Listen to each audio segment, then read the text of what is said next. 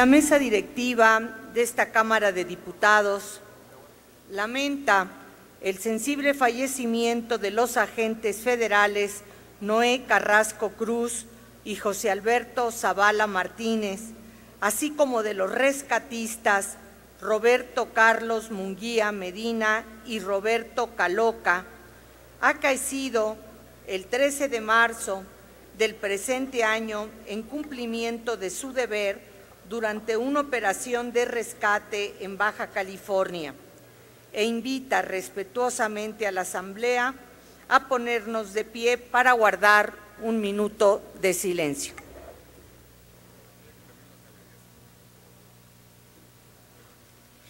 Solicito también a nuestros invitados de galerías nos pongamos de pie.